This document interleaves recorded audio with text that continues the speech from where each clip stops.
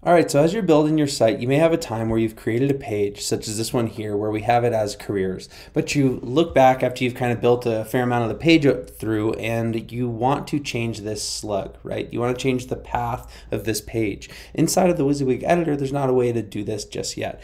But it's really simple to do. We just need to jump into the code. And it's so simple that it, pretty much anybody can do this. So you can actually, at this point, if you want to change this here, just jump into the code here and we'll open up the content pages file and then you'll find the page that we're related to. So let's say we wanted to change this page here, right? This careers page.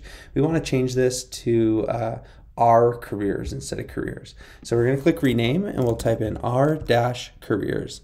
And now I'm going to click OK. And now what we're going to see is this page here will 404. It's going to throw a 404 error. And when you see that, you know you've done it correctly.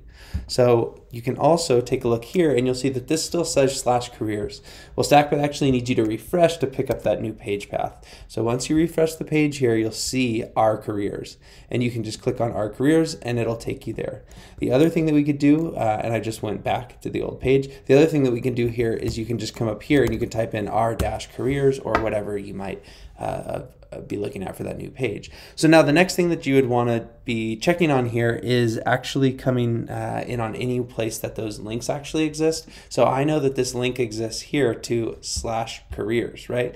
So I would come in here and I would update this to our careers instead so that folks, when they are navigating via this link, right, it goes to this correct page. And I think there might even be some pages in the footer, like this one here, where you'll want to do that same thing of changing the URL like that.